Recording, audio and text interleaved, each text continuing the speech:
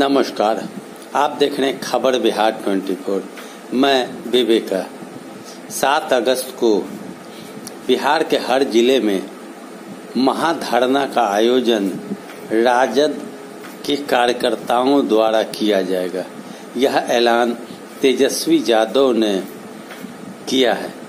तेजस्वी यादव ने कहा है कि बीपी मंडल जयंती के अवसर पर हर ज़िले में शनिवार के दिन सात अगस्त को धरना प्रदर्शन किया जाएगा और जातीय जनगणना बिहार में हो, इस मुद्दे पर विशेष ज़ोर दी जाएगी। साथ ही साथ मंडल कमीशन में जो भी बिंदु दर्शाए गए हैं, सारे बिंदु लागू होने चाहिए और आरक्षण के मामले में जो भी बहाली रुकी हुई है, वो सारी बहाली भी होनी चाहिए।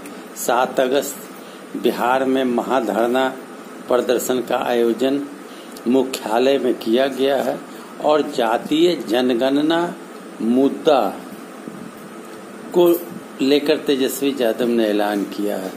जातीय जनगणना के मामले को लेकर नीतीश कुमार से तेजस्वी ने मुलाकात करा था और नीतीश कुमार ने आश्वासन दिया था कि प्रधानमंत्री से सारे विपक्षी और सत्ता पक्ष के लोग भाजपा को छोड़कर मिलेंगे और जातीय जनगणना कराने के मुद्दे पर बात करेंगे।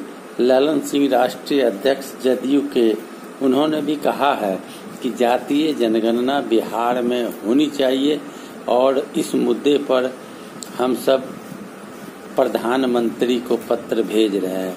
तो जातीय जनगणना का मामला अब बिहार में तुल पकड़ता जा रहा है और तेजस्वी यादव के नेतृत्व में जातीय जनगणना के मामला और मंडल कमीशन के बिंदु पर आरक्षण के द्वारा बहाली के मामले को लेकर सात अगस्त यानी शनिवार को बिहार के हर जिला मुख्यालय में धरना प्रदर्शन राजद के कार्यकर्ता करेंगे, ऐसा पत्र जारी किया गया है।